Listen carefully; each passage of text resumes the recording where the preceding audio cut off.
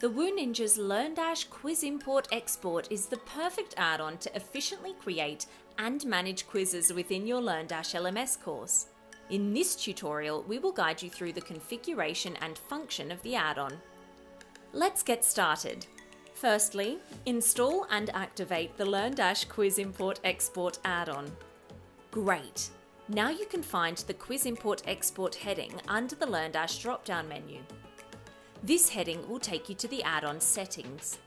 But before we do this, let's take a look at how we can export quizzes already within your LearnDash course content. To do so, enter the Quizzes subheading of your LearnDash LMS. Here you will now find options to export each of your quizzes as either XLS or XLSX formats. Once downloaded, you can easily import them into another site using this add-on. We will get to that in a moment. You also have the ability to export multiple quizzes at one time by simply selecting the quizzes and then exporting them with the bulk options dropdown. Now let's take a look at how to import quizzes.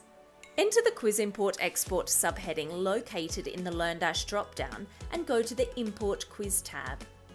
Here, search for the quiz you would like to import. The add-on will only support Microsoft Excel, XLS, or XLSX files. Once you have selected the file, click Next. This will take you to a quiz page where you can choose the appropriate course, lesson or topic, and certificate you'd like to associate with the quiz you're importing. Once you've selected your preferences, hit Next. Now you have the opportunity to attach existing questions to quizzes. This dropdown will display a list of your existing quizzes in case you'd like to add these to the quiz you're importing. Finally, to complete the import, click Upload Quizzes.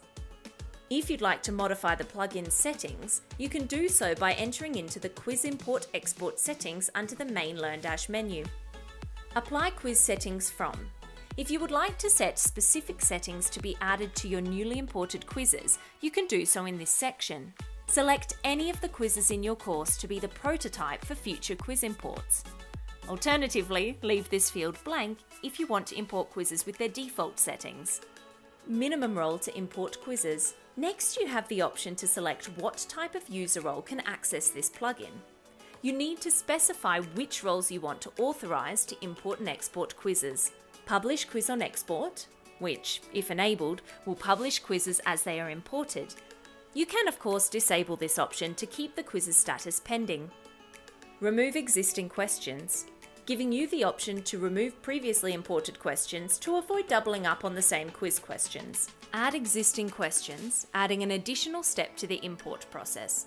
If enabled, a drop-down menu will appear after the quiz import file upload, offering a list of all unassociated questions that you can then choose to associate with the newly imported quiz. Fantastic! Now you know how to use the add-on, let's take a look at how to utilize the available templates to import and export your question types. To note, this add-on does support LaTeX text to include math equations in your LMS quizzes.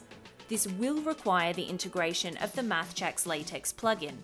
See the blogs available on the WooNinjas website to expand on these specifics. When it comes to standard LearnDash question types, there is a downloadable template available in the plugins folder. You can fill this in to create quick and easy quizzes to import into your LMS. The template looks like this and includes quiz title, quiz content, question type. You can refer to the documentation for this add-on to find the relevant shortcode for each question type. Let's say I want to make this question a fill in the blank, I will use the shortcode cloze answer. Category, title. To note, the add-on will not allow two of the same question titles within a single quiz. Total points, used to determine the total points earned for each question if answered correctly. All question types can be left blank if preferred, except for essay questions, where you will be required to assign a point value. Different points for each answer, if you want all questions to receive a standard number of points per correct answer, then enter no into this column. However, if you'd like to set varying points for each answer, enter yes. Question text. This is how the question will be worded within the quiz. Answer type.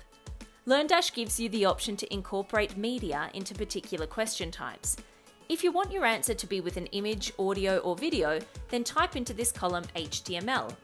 If you'd like the answer to be text only, type text. Answer and point columns.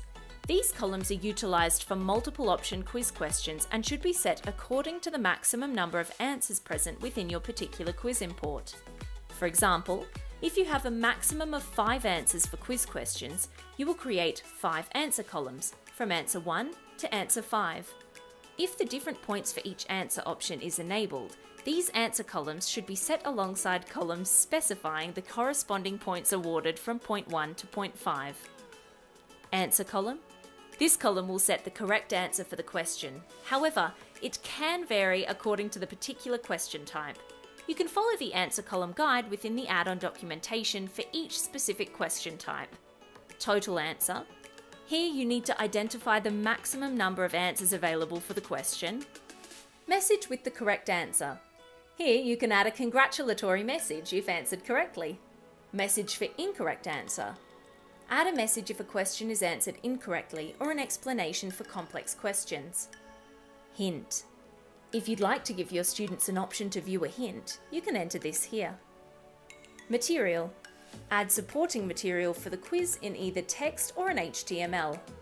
Certificate awarded for is the section where you set a required percentage for a certificate to be awarded. Passing percentage, set a required percentage for a student to pass the quiz.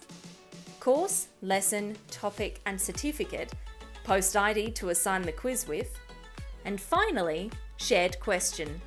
This column is for optional use where the shared quiz question setting is enabled. Here you can reuse a single question in multiple quizzes. To do so, set to 1. To note, if you are also working with quiz questions from the LearnDash Advanced Quizzes add-on, that is no problem. Version 3.4 of this add-on supports advanced quizzes. You will, however, need to download a different quiz template, which can be found in the appropriate plugin folder. For further information about working with this template or anything we've been through in this tutorial, you can refer back to the plugins documentation available on the WooNinjas website. As you can see, by integrating the LearnDash Quiz Import Export add-on into your e-learning site, you will save valuable time and effort within your daily quiz management. Thanks for joining us.